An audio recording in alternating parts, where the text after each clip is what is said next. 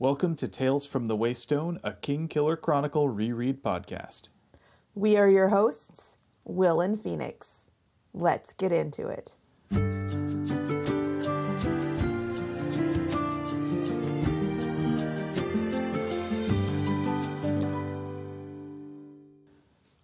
Welcome to Tales from the Waystone, episode 18. Don't mess with the bull, young man, you'll get the horns, where we will be looking at chapters 39 and 40 of The Name of the Wind through the lens of questioning authority. So, every week on this podcast, we examine a section of the book, The Name of the Wind, through a chosen lens and figure out what we can take from the text and apply to our real lives. We'll also take time at the end to explore models of practical wisdom with an Aristotelian phronimos of the week. And after that, we will expand our understanding of our own world with interesting facts. Before we leave you, we will wrap things up with seven words from the book and seven words from our own lives. As a little side note, as this is episode 18 and we have not yet asked, we would like to remind you that rating us on the podcast app you listen to us with or leaving a review both feeds our ego and helps other people find our podcast. We would love it if you would like, share, and subscribe. I know that you've all heard that before, but it really does matter. One other thing for our fans to note I would like to know what your favorite outtake is from the end of our show. So if you would like to let us know, you can go ahead and send us a tweet about it at Waystone Pod on Twitter. And before we begin, let's get some disclaimers out of the way. First of all, we are, as always, in no way affiliated with Patrick Rothfuss or his publisher, Daw Books. Second of all, our discussions are naturally going to assume that either A, you've already read the main books, The Name of the Wind and The Wise Man's Fear, as well as the other ancillary novellas and short stories in the continuity, or B, you're someone who likes to know the future like some sort of weird prognosticator of future events. Also, a word to our community while it's perfectly fine to critique the text, we do it plenty here. We're not going to stand for any kind of abuse of the author or any other person. In short, let's be nice to one another because that's what we need this time. With that out of the way, now it's time for me to give us a 45 second recap of this week's events. You're going to go with 45 seconds again? Yeah, I've learned from my hubris and I don't want any more cherry ripe. I wouldn't make you have cherry ripe. We'd find something else. Doesn't mean I want it. All right, Bear. I've got a timer ready. Are you ready? Hang on a sec. Let me warm up a little bit. Yes, I am ready.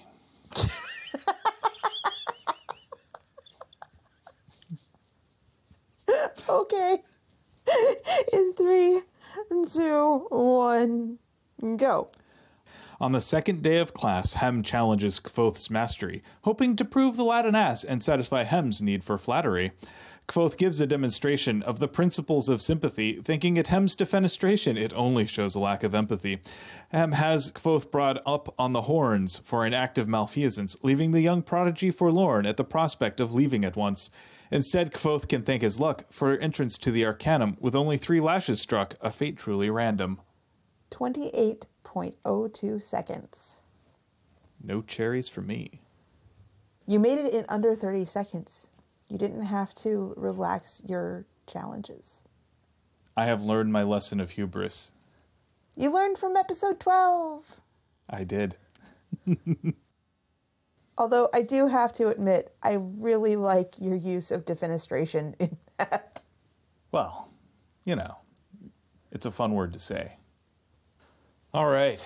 So now that we have successfully recapped, Congratulations. thank you, let's talk a little bit about our lens, which this week is questioning authority. So, questioning authority is something that we're oftentimes told is a good thing to do, and it's true it is, but it's not without consequences because when you question authority, authority has a tendency to question back. Or just squash. And so, with the questioning of authority, you have to be prepared to accept the consequences for that, which is what we'll see happening this week. So I note that the first of our two chapters that we're looking at has a lot of Kvothe. How should I put this? Assuming Hem's mental state and motivations.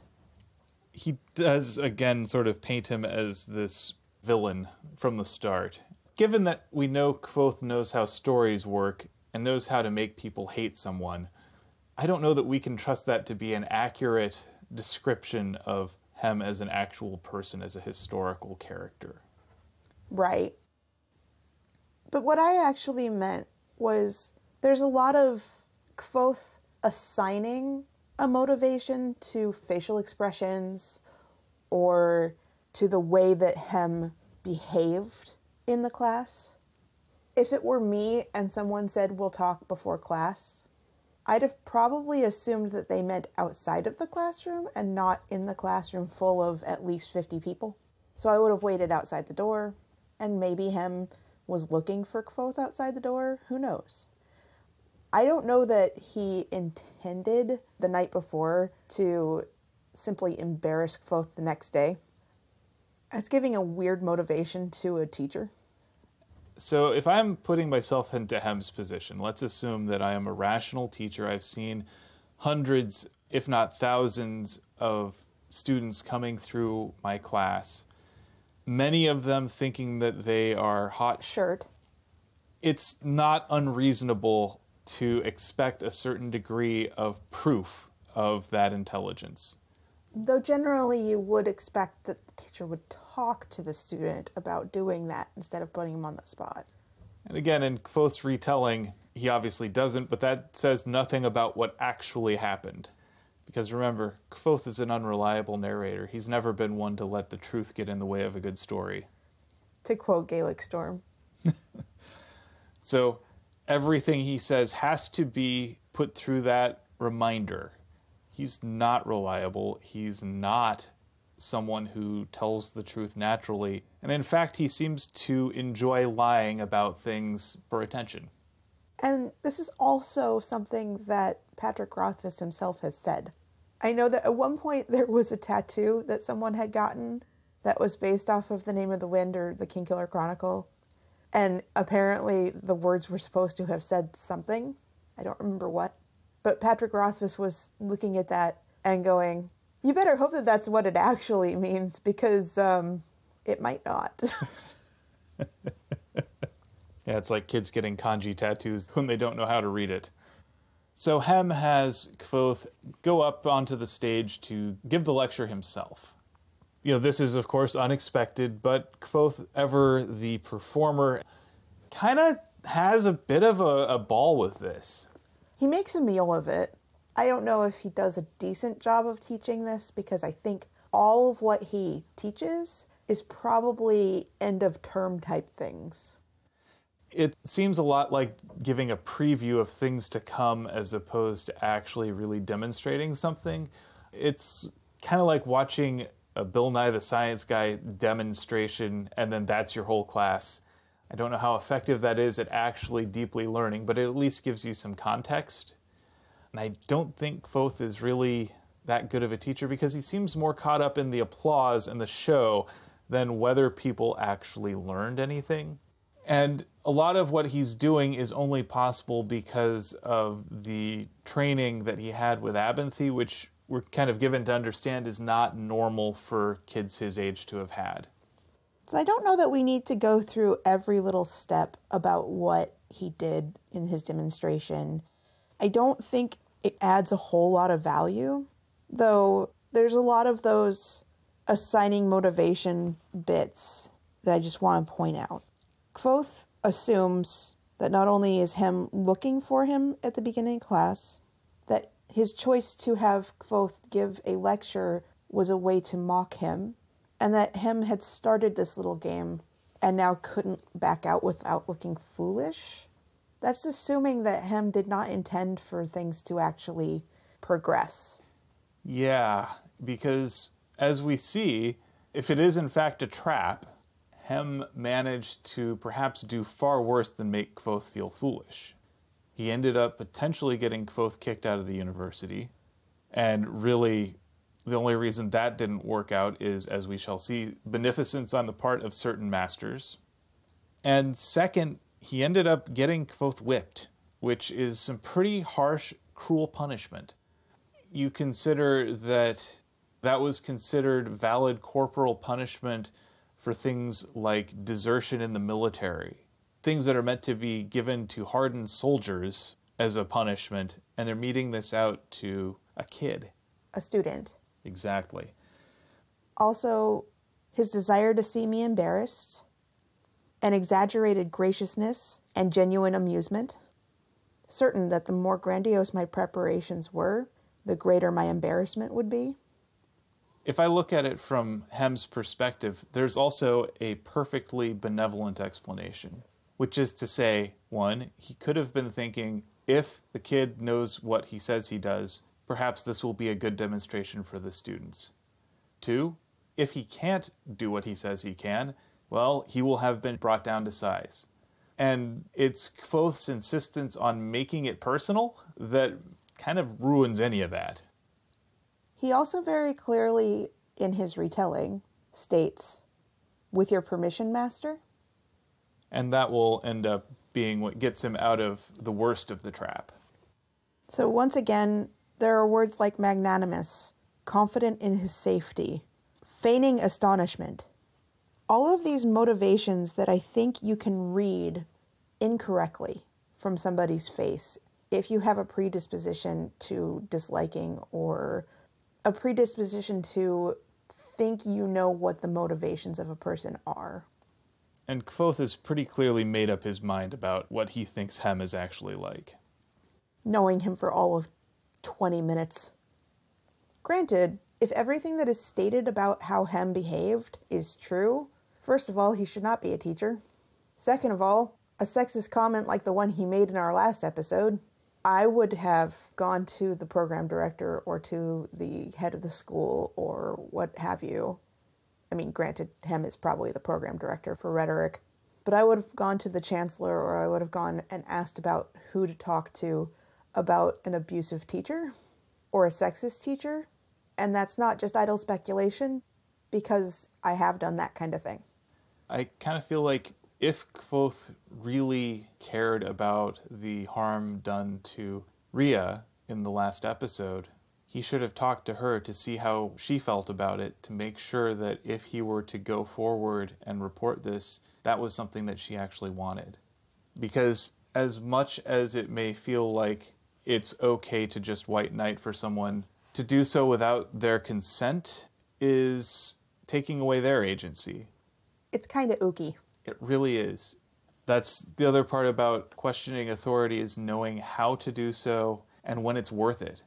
How to do so in a constructive manner as well. Really, in this case, what Kvothe is actually objecting to isn't any deficiency on Hem's part. It isn't his treatment of other students. It's just that he isn't going as fast as Kvothe would like. And that's not actually a battle worth fighting. So I've run afoul of teachers before, and in retrospect, I'm not proud of how I behaved. When I was a junior in college, I was taking the philosophy for non majors. And as an upper division philosophy student, I felt the whole thing was kind of beneath me. So I oftentimes would sit in the back of the lecture hall and crack jokes with my friends about the subject matter at hand, yes, but it was still disrespectful because even if the jokes are on point, it's still distracting other students. At the end of the day, it really wasn't about me. And one of the professors who taught that class happened to overhear some of my jokes. And this was a professor that I knew pretty well and respected and admired. And he became extremely angry with me over this. And I don't blame him because I was disrespectful. Yeah, I was paying for the class, but at the same time, so was everybody else in that auditorium. And my own amusement or boredom didn't overwrite their right to actually get something out of the class. We underestimate, I think, how much effect we can have on people. And I remember him yelling at me in front of everybody. He got so angry. And I felt terrible about it. I wasn't speaking truth to power. I wasn't questioning authority. I was just being a jerk. Eventually, one of my friends actually went to him during his office hours and told him explicitly that I had been also helping her learn the material and that my jokes and such had actually helped her make sense of a lot of the stuff that she was learning about. And me and the professor apologized to one another. But I can see where Hem's coming from here. He's got a student who's kind of a jerk about things and is trying to make the class all about him. I don't think I was ever truly that bad on staying in a classroom and just either muttering or making jokes that disrupted the class, especially not at DigiPen. Though I was at community college with one of my very, very close friends, and quite often we would go and get tacos instead of going to our pre press class. Somehow we both passed it. I don't understand. Anyway, I think my way of handling these kind of situations is more of the avoidance. If I can get out of it, I will attempt to get out of it. Now, Kvothe tried to get out of it. And I think what we actually see in this chapter is Kvothe's resentment being masked under, but I was the one who was right the whole time. And as we should see here, while he may have a grasp of the mechanics, he knows all about the coulda. He has no clue about the shoulda. The fact that he just kind of walks out the room and doesn't expect any consequences. Oh boy. Well, and then we get a little bit of the things that I think makes Kvothe a little more relatable, as the next chapter is spent with him basically getting anxious about things as he starts to hear what people are talking about. He starts hearing the word malfeasance a lot. And I think this is something that Kvothe would probably have learned about had he been willing to actually sit and listen in Hem's class. Once again, though, I think that we see how obvious it is that Kvothe didn't know as much as he thought he knew about the university. I think this is a way to illustrate why it's important to read the manual or to read the welcome pamphlet or what have you. And if the university does not have such things, I'm sure they have official rules written somewhere that students can actually read should they want to read the terms and conditions. Yeah, in fact, Lorren probably knows where they are. Lorren probably can recite them. Yeah, the student handbook is there for a reason. It's there to outline the students' rights and responsibilities and the code of conduct that they have agreed to live by while they're at the university. There has to be some kind of documentation of this, and Kvothe hasn't really shown any curiosity about that. It occurred to me the first day of class is never terribly informative on the subject matter. It is usually extremely and painfully informative on things from the syllabus. There are a lot of points of order about class structure and office hours and reading assignments. And yeah, that's to be expected. But again, Kvothe has no idea what to expect. He's never had any formal education at all. So let's go on to the next chapter for real this time. This is where Kvothe stops being quite so self congratulatory. Instead of being a victory lap, with him walking out to cheers and hurrahs as he shakes his hands in adulation. Or more accurately, a couple people waved at him and gave him a thumbs up. Thumbs up exists in this society?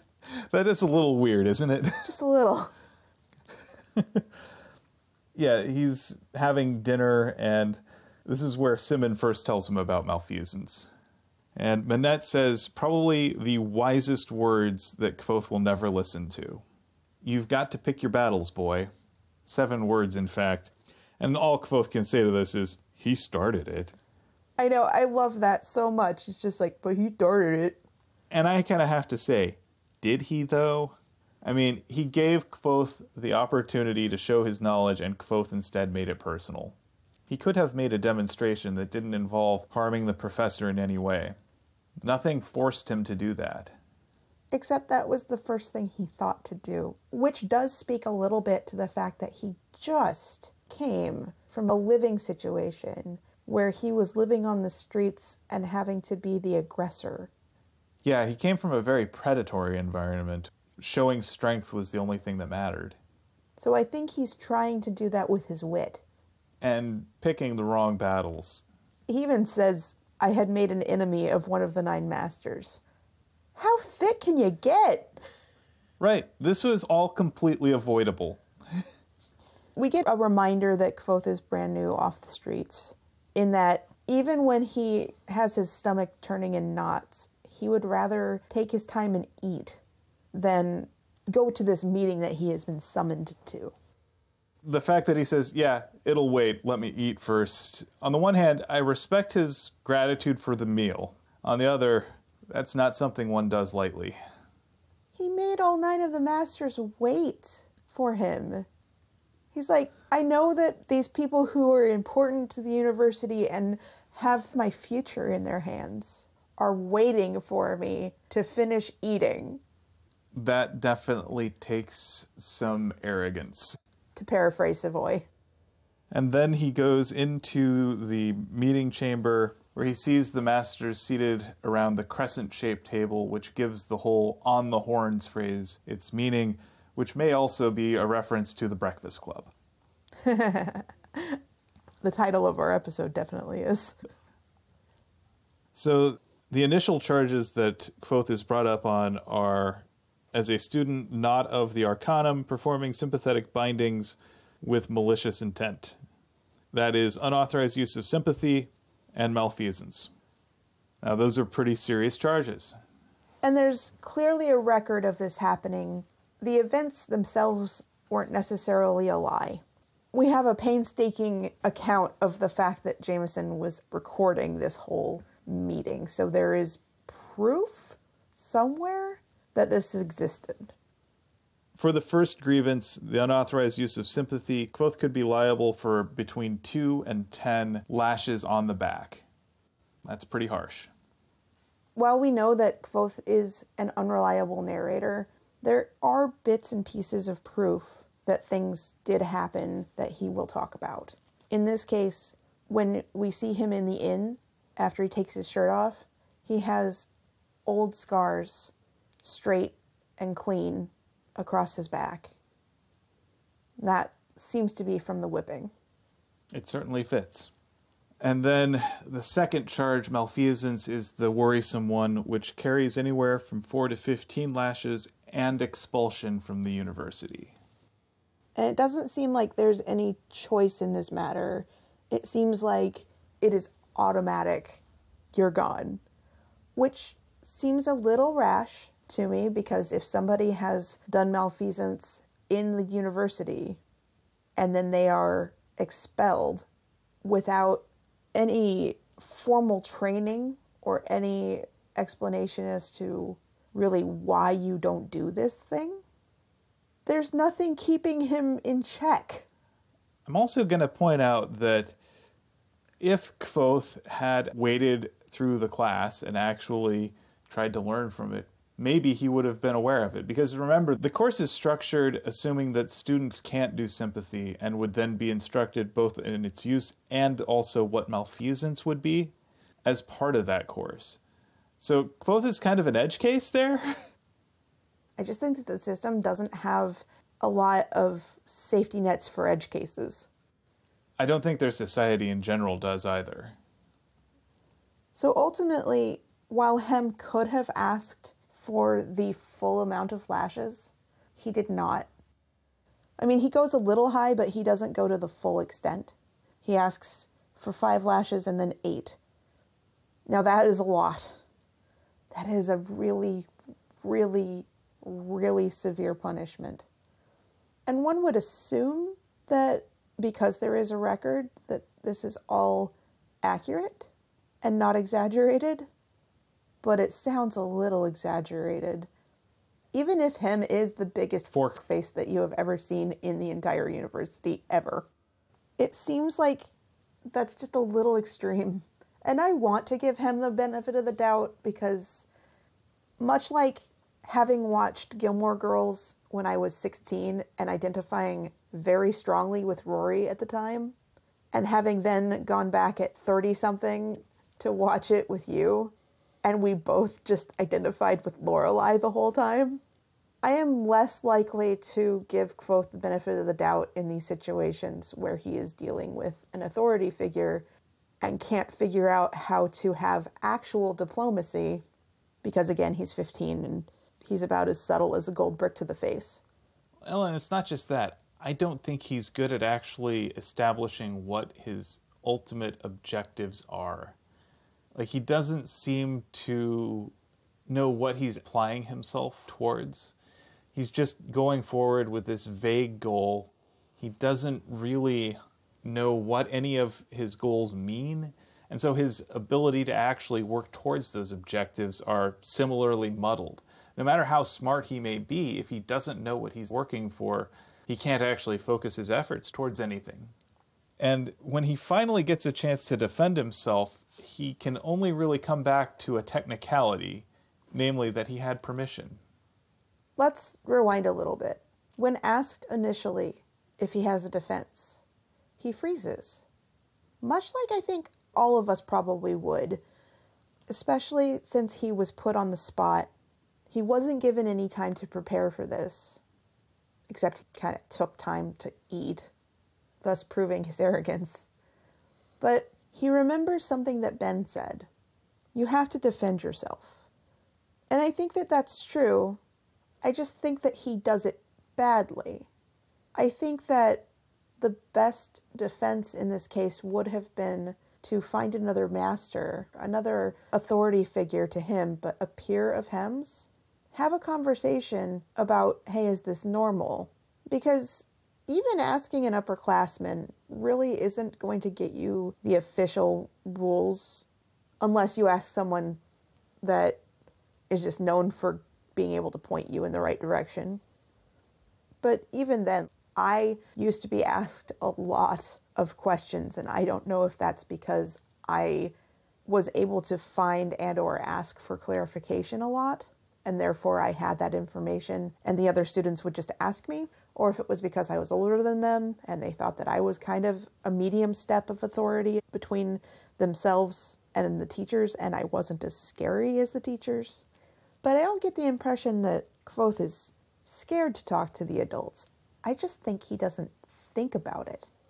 It never occurs to him that the professors are just as beholden to the school's laws as anyone else. Or that the other professors might have his back.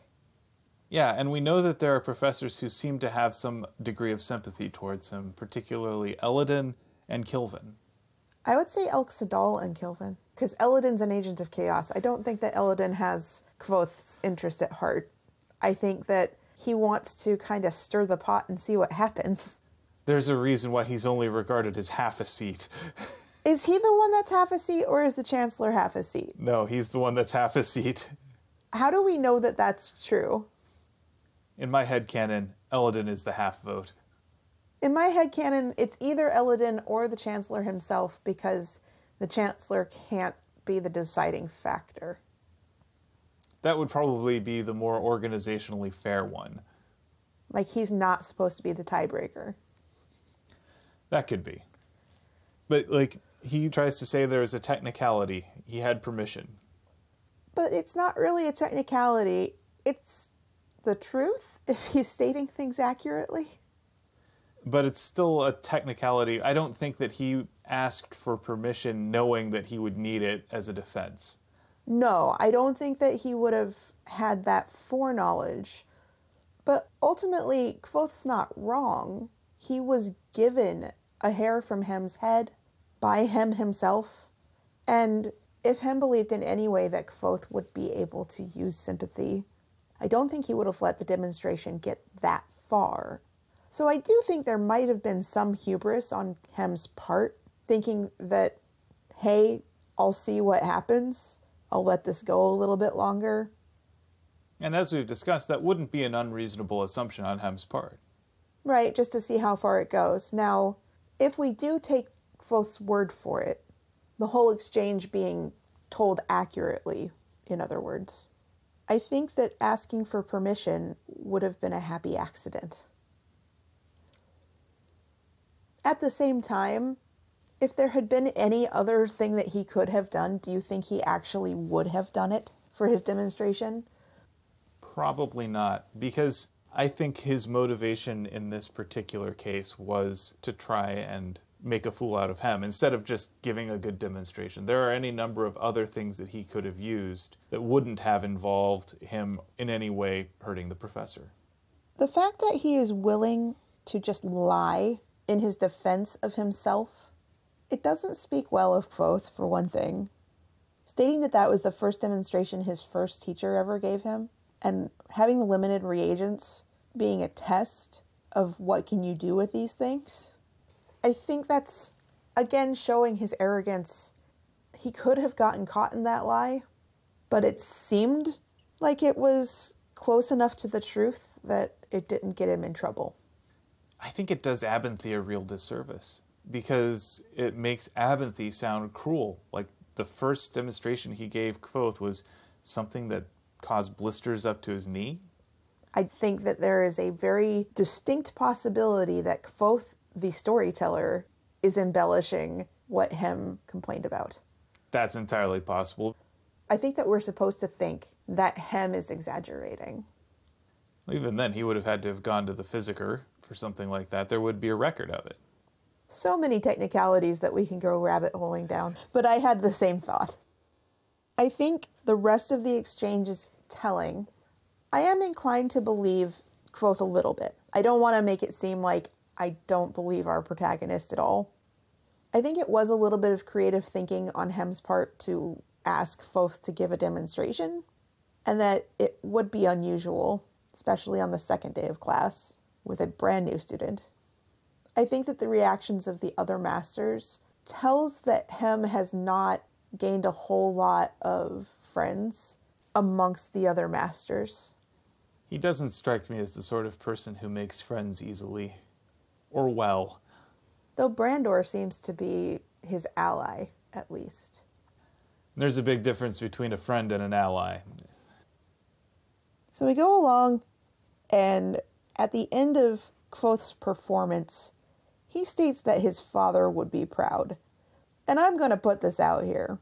I don't think that Arliden would have been proud of Kvothe's use of his stage training in order to lie his way through mitigating a punishment. Well, and as we see here, there's also some of that arrogance again, where he then tries to use this as a way to get himself into the Arcanum. It works, though. It's truly audacious to do so. It'd be like if I'm at work and I'm hauled in for a reprimand, and then I say, and by the way, I'd like a promotion. I think that the reason he got away with it is once again shock factor.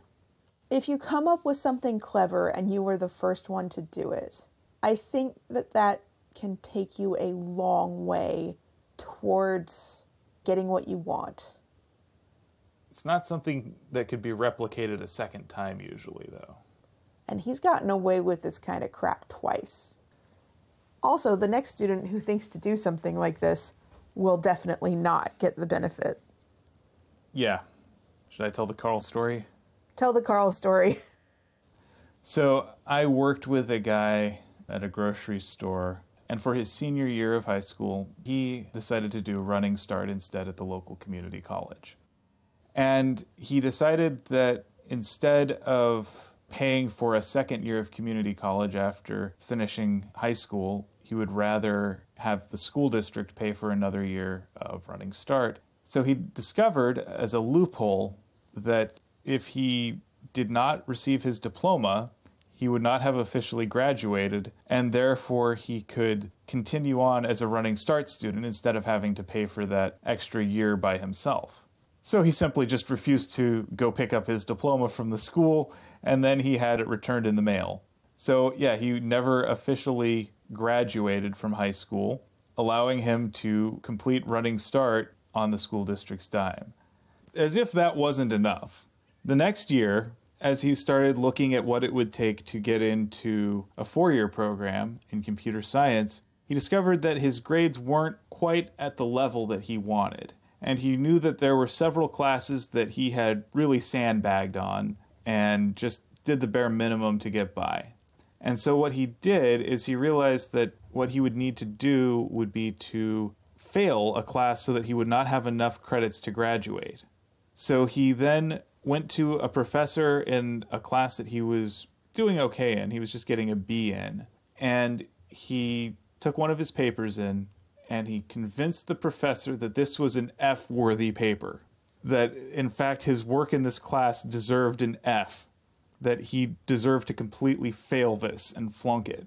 So then he would no longer qualify for graduation and would then be able to take another term where he took every class that he got less than an A in and then proceeded to ace all of those, graduating with a perfect 4.0 GPA.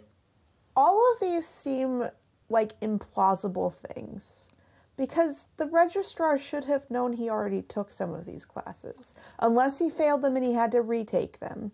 So, because I don't think that you can retake something unless you get a very bad grade in them.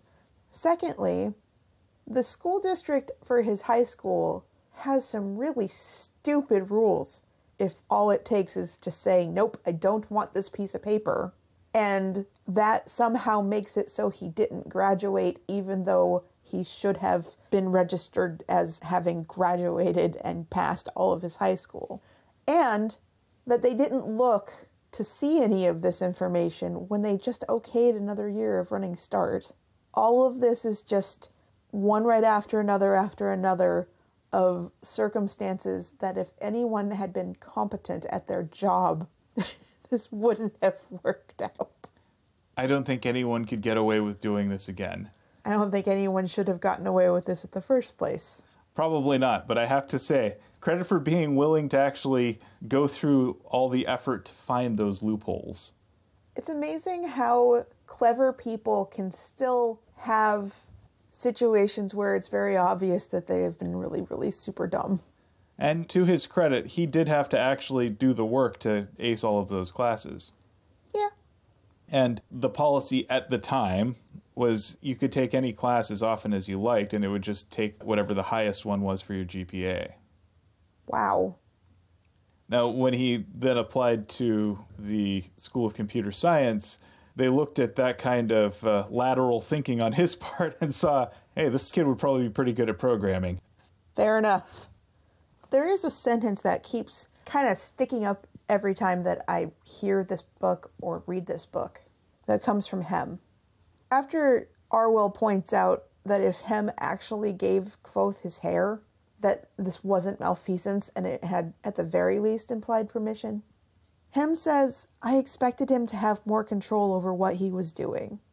So that kind of gives lie to Hemme's motivations he either thinks that Kvothe is not going to be able to do any of this, or that Kvothe is an expert, or thinks them both at the same time, which are incongruent thoughts. Which, if you think about it, is exactly what sympathy requires. Right. Kvothe manages to talk himself down to reckless use of sympathy, which still carries punishment for it. And he's still going to be whipped three times which is three more than any child should ever be subject to. I'd say kid rather than child. Child seems like it's rather patronizing in this case. Adolescent, teenager, all those words are a little less condescending. But let me put it this way if I discovered that someone at the local high school was whipped by the faculty, even once, I would be furious at that.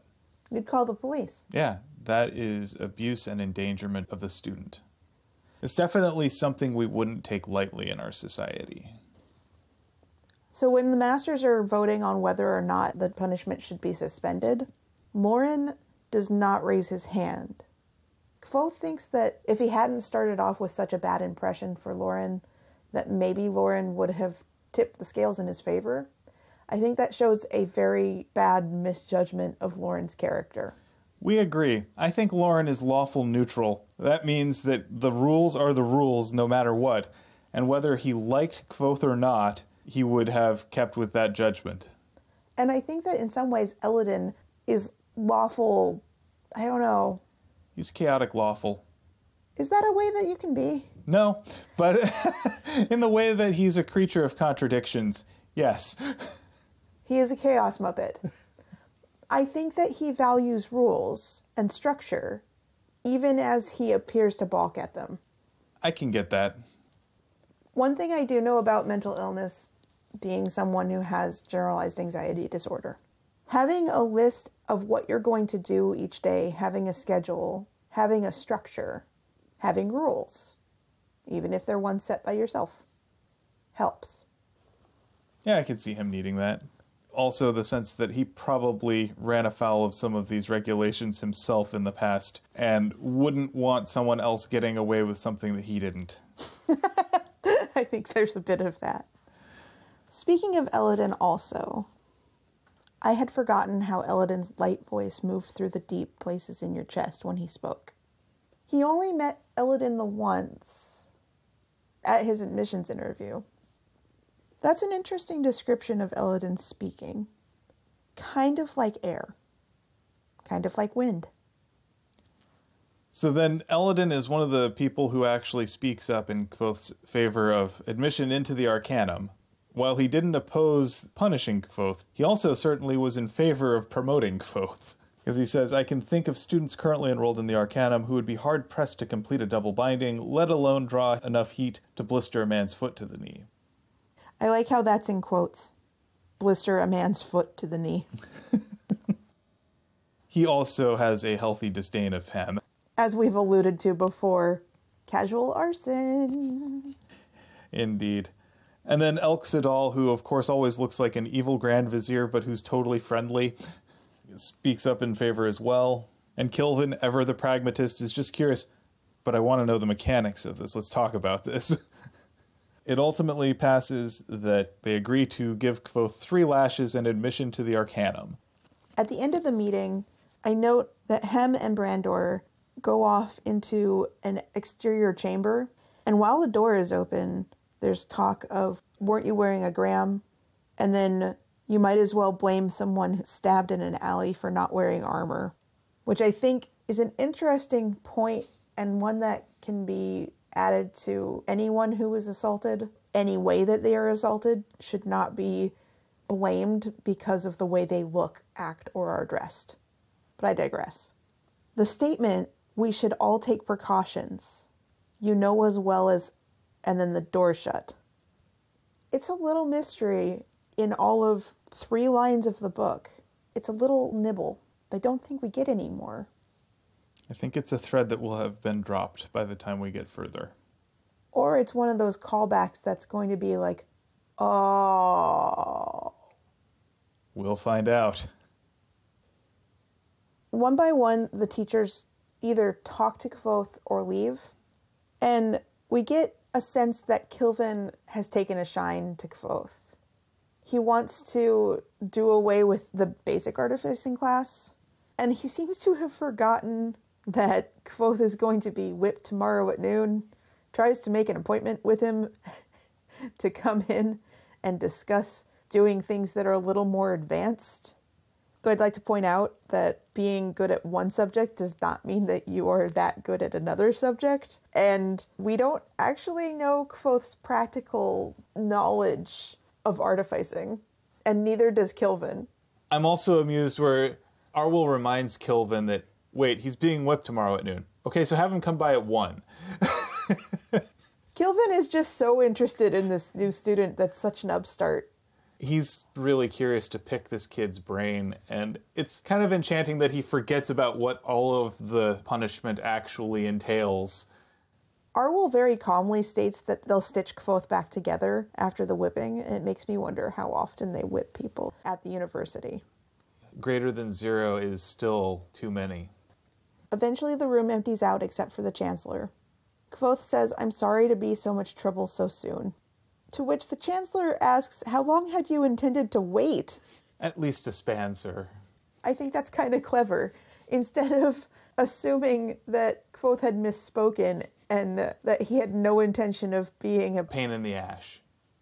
I think the master linguist has a taste for banter. and wordplay. We once again get a reminder that Kvothe is not as young as he looks. At least Kvothe's interpretation of how other people think of him is that he is not as young as he looks. I think he's just as young as he looks. I think that maybe he has a clever streak and maybe he has some knowledge that he was privileged enough to receive from a skilled teacher when he was young. But I don't think he's more mature than his age would say. I don't think that being intelligent is the same as being wise. And on the flip side of that, he mentions that he realizes the Chancellor probably isn't as old as he looks, being just on the other side of 40. Hey, we're getting close to that age. I know, right? but it's just sort of an interesting bit of symmetry there. I will give Patrick Rothfuss this. He has an excellent way with words and an excellent way with crafting a narrative and details like that. When Kvothe leaves the meeting, Sim startles him and he responds essentially like a feral Tasmanian devil, which is kind of a reminder that he's only been off the streets of Tarbean for probably less than a week. Those instincts don't just go away. As someone who is hypervigilant and who got that way because of constant negative stimuli, it is incredibly hard to not interpret everything through the lens that you were interpreting things through when they were bad. Kvothe probably has a lot of anxiety, a lot of fear, a lot of adrenaline response to almost every stimuli. There was a time at which I constantly asked you if you were mad at me if you weren't talking with me. Like, just not talking. Not that you were pointedly not talking to me, just you were being quiet. Your mouth wasn't flapping. And I was never sure what was going on in your head. And turns out what was going on in your head Sometimes pigs are much bigger than you might expect. was generally nothing. but the part of my brain that had to be on high alert all the time had a really hard time shutting off. And I believe that that's true about Kvothe. It's one of his factors that actually makes him, I think, more relatable.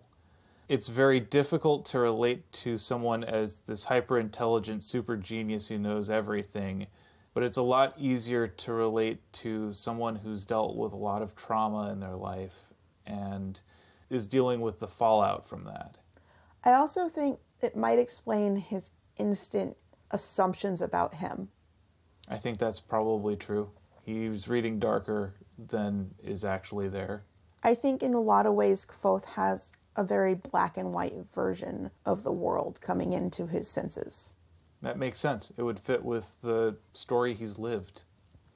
So then Kvothe has to move into the Arcanum bunks, which are closer to the bathing facilities. Apparently. And while his former bunkmates seem very happy for his success, his new bunkmates are a little bit more muted. Well, there's a different response here. Presumably, anyone that he is interacting with in his original bunk either just went through or is currently in Hemme's class. And if everyone has a poor association with Hemme or a poor opinion of Hemme, well, I can see why they'd be very congratulatory and, oh my gosh, how did you get through something that terrifying? I could never be like you, but I admire the hell out of you. And then he gets to a spot where other people had to earn their place. And they're all looking at him like, no, go away. Yes, yes, you're very smart. Shut up. exactly. Ah, Peter Falk. Yeah, I have that reaction a lot to Kvothe.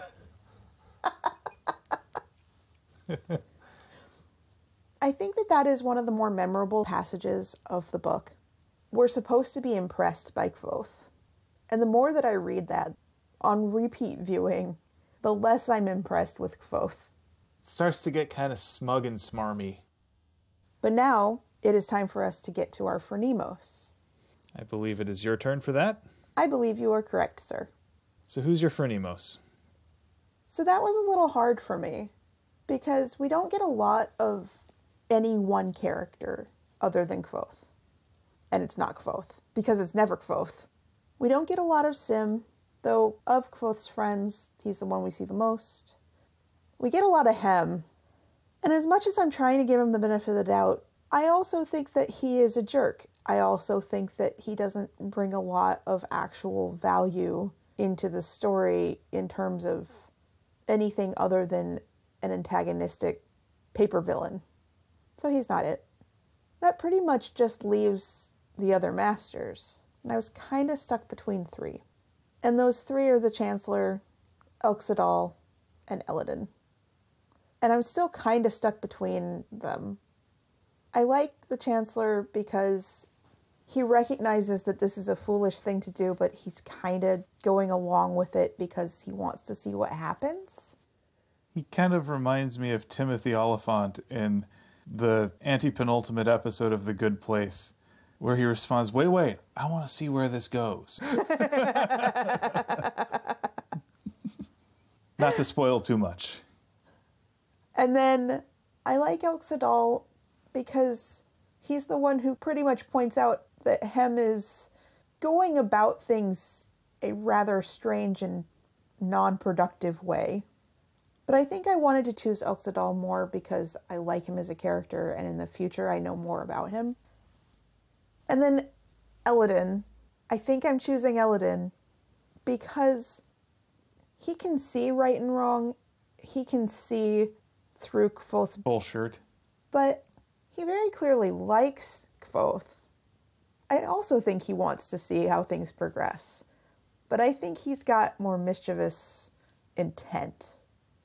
He waves at Kvothe, He tries to either psych Kvothe out. We don't know what his motivations really are. Or be friendly to Kvothe. Kvothe takes it as a friendly gesture. Not really sure he should have. It's like, hi, toodles. and while we are led to believe that Elodin is a bit mad, I think he just sees things differently. He's not enamored with Kvothe's BS, but he is enamored with the possibilities and what could be. One of the things I notice about Elodin is while he admires Kvothe's potential, he also recognizes the difference between where Kvothe is and where he could be. Whereas Kvothe, I think, seems to always want to skip to the end. I think Kvothe wars between wanting to skip to the end and thinking he's already there. Yeah. But Elodin also gives an example of why Kvothe doesn't need to go through the prereqs. Although, once again, I'm going to point out being good at one subject does not mean that you are good at all subjects. Maybe test his abilities first. Also, maybe test his ability to judge when it's appropriate to apply said abilities. I don't know that that's in the master's purview. Yeah, they do a whole bunch of meddling with that which ought not be meddled with. Yes. So I think that's my Phronimos. It's a good one. Thank you. Speaking of Master Elodin, it's time for us to take a page from his book and learn a bit about our world with an interesting fact of the week. It's my turn this week, and I think I've got a pretty fitting one based on everything that we've described. So this is called Évariste Galois, the Radical Mathematician. So Évariste Galois lived between 1811 and 1832 and was famous for a few things. Discovering a proof that could determine whether or not a formula existed for solving an advanced polynomial equation, particularly quintic or higher, and also for his radical anti monarchist politics in France. I'll give you a hint which one of those he ended up dying for. it wasn't the mathematics, though he may have felt it was. He was a mathematical prodigy who was enrolled at an exceptionally young age as a student at the Collège Royal de Louis le Grand. There, he managed to break new mathematical ground and annoy the headmaster in equal proportions. He set about seeking admission to the prestigious École Polytechnique, which was the foremost technical school of the time. However, his mathematical genius was not matched with a facility for actually communicating his ideas effectively, and the entrance board was ultimately unimpressed. He waffled a lot, in other words. This would be a recurring pattern throughout Galois' tragically short life. In addition to multiple failed entrance exams, he was also plagued by circumstance when trying to get his work published with the Academy of Sciences. In addition to poking at those members of the Academy who were loyal monarchists, Galois suffered multiple rounds of bad luck where submissions were lost or forgotten or eclipsed by other mathematicians who arrived posthumously and proved the same ideas in a more effective manner, in the case of Niels Henrik Abel. This guy had already proved a lot of the things that Galois was trying to prove, but he had done it nine years earlier and then died. His work was only discovered later, just as Galois' mentor was about to publish his own work. Oh, As to his political and personal life, much of what we know comes from his acquaintance Alexandre Dumas. Yes, that Dumas of the Three Musketeers and Count of Monte Cristo fame. Dumas and Galois served together in the Republican National Guard artillery unit for approximately three weeks before King Louis Philippe decided that it probably wasn't a good idea to have a whole bunch of rabid anti monarchists handling all their cannons. At a banquet gathering of former artillerymen, Galois brandished a knife and raised a toast to the king's death, which was a bit much for Dumas, who proceeded to escape by jumping out the window. It was the first floor window, but it was a dramatic exit nonetheless. As a result of this, Galois would find himself in and out of prison for the next year as a result of these sentiments and would drink heavily in his time there.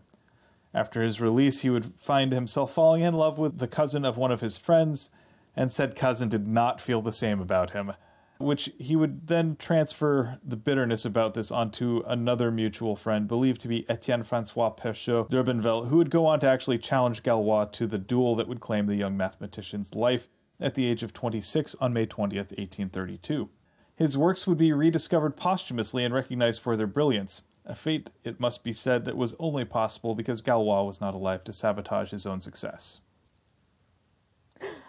That's more of a history lesson than it is an interesting fact. Are you interested? Were you interested? I was. And in the interest of making this episode not be terribly long, although I'm sure that it is too late, I was interested.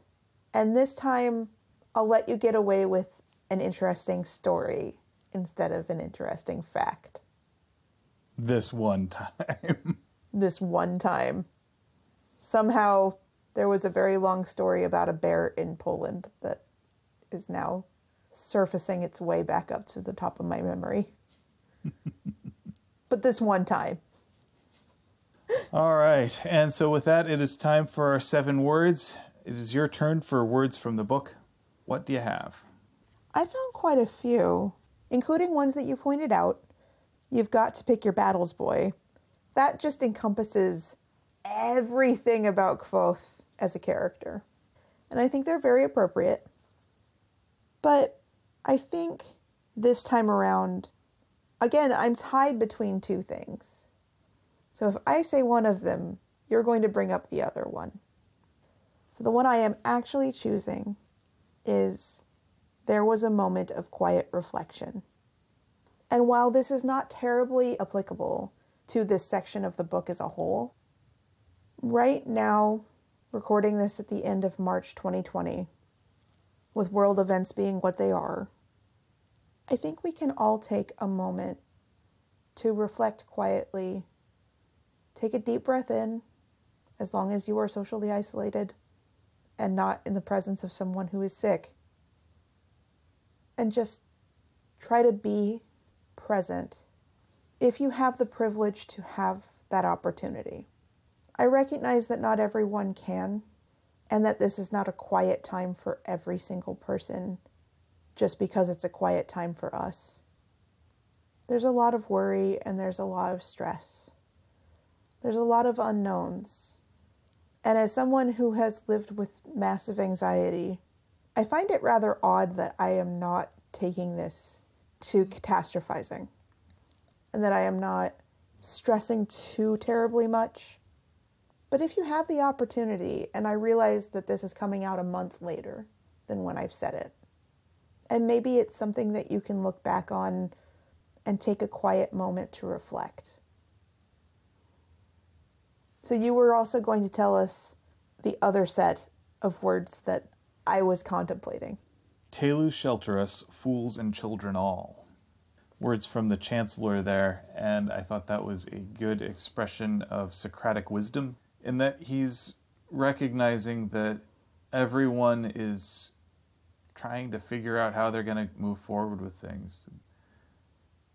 As much as we like to think that grown ups are grown ups, there's a lot of times when adults are making things up as they go. And it's okay to admit that you don't know the answers to everything. And it's okay to admit that you're foolish. It's the only way to be wise, actually. Any kind of wisdom has to start with the understanding of your own limitations. And a certain amount of humility is required.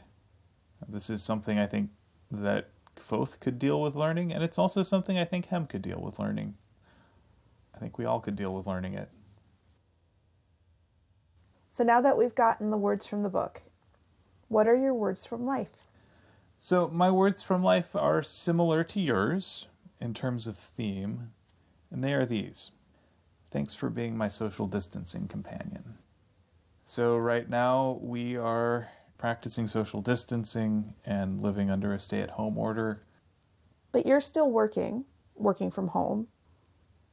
But I've got my work that I'm doing with the podcast and editing. For me, there's not been a whole lot of disruption to my normal schedule, to what I normally do on a daily and weekly basis. It's a little frustrating not to have the option to go out without being able to go to a restaurant or to our local guitar store or having face to face interactions with other people. But I'm pretty good at handling that.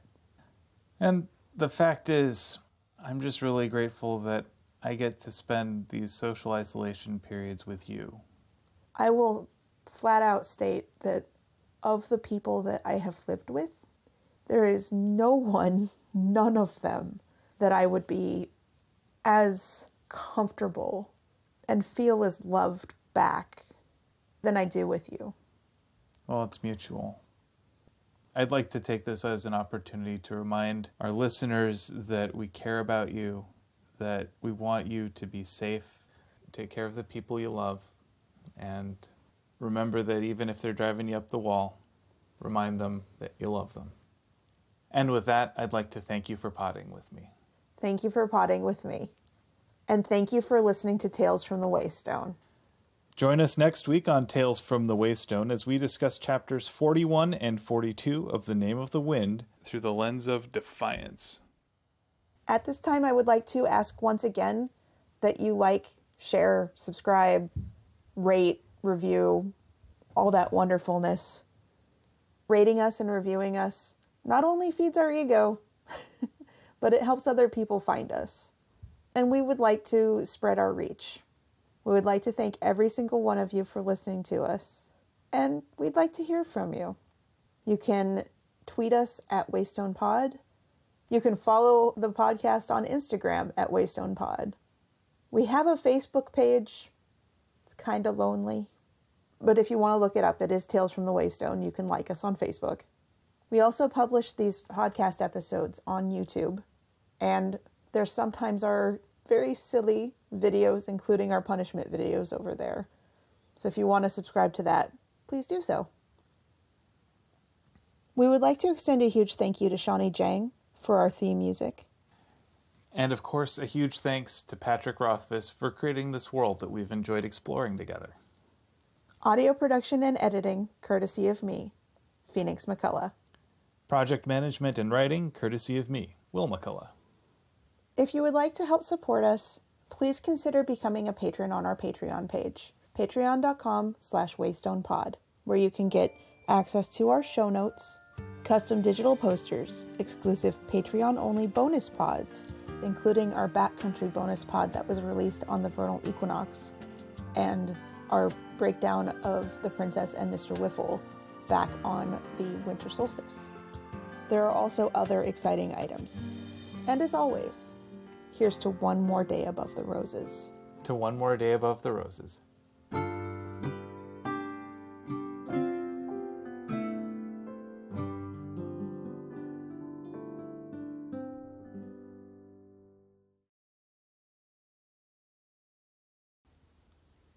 Why is my thumb weird? I don't know. Why is your thumb weird? We are oddballs and we know it. I'm giving you plenty of things for your outtakes.